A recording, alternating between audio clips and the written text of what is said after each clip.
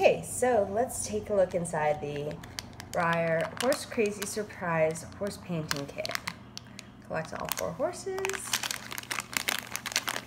And let's see, it was $4.95. I got this at Dover Saddlery. And each kit contains a stablemate and some paint and a, hi Mamacita, and a brush. Okay, that is cat approved. Let's take a look and open. Go, go, go.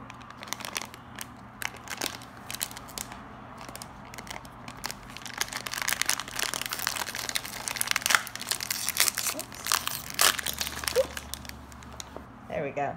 All right, so it contains a little brush, a little short brush.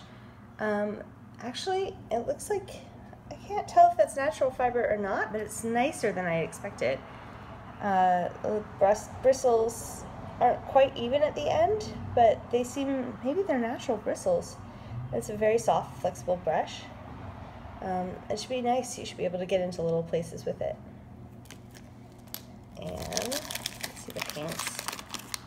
Okay, it looks like we have standard brown, white, and black, which could be mixed to make many normal horse colors.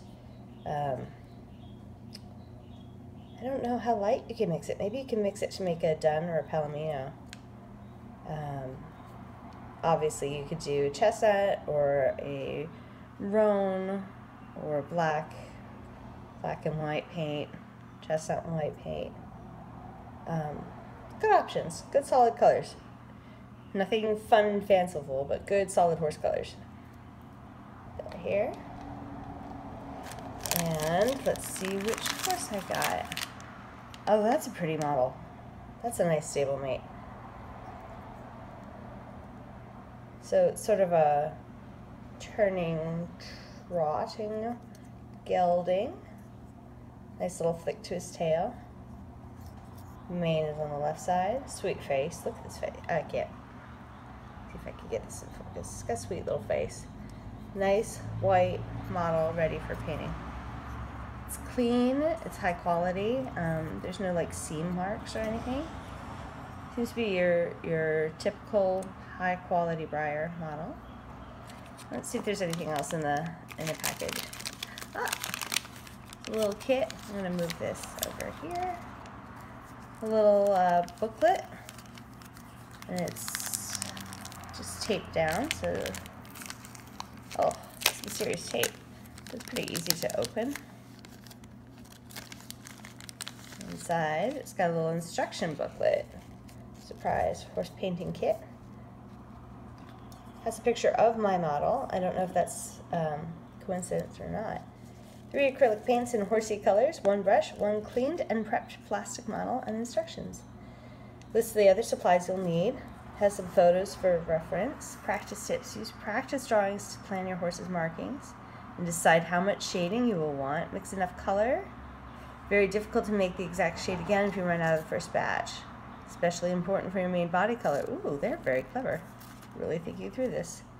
Finishing touches about how to paint the eye some information about model horses on the back.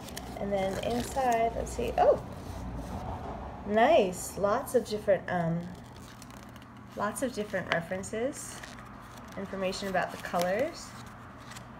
Oh, wow. Leg markings. Info about hooves. This is actually way more educational than I was anticipating.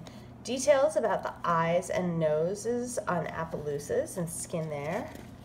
Facial markings, dapples, how to do dapples. Oh my heavens, look at this. They talk about different types of Appaloosa markings, talk about the different roans. This is much, much nicer than I was thinking. I was expecting it just to be the paints in the model. Um, let's see if there's anything else. That looks like it. So um, overall, I would say for five bucks, this is a great little kit. Oh, Oliver's coming to see the kit too. Hi, Oliver. Um, but I mean, you get a stablemate, which these are five dollars painted. Hi, yes, good boy. Um, but you get to paint it yourself. You get some educational stuff about how to paint. That also includes information about horses in the brochure. Um, The little brush, like I said, is much nicer. Obviously, it's going to be tricky to get some of these details. I would probably get a toothpick to do some of the deep details on here. Um, and then the paints, a good quantity of paint. Um, yeah, I'm like super excited, super stoked about doing this.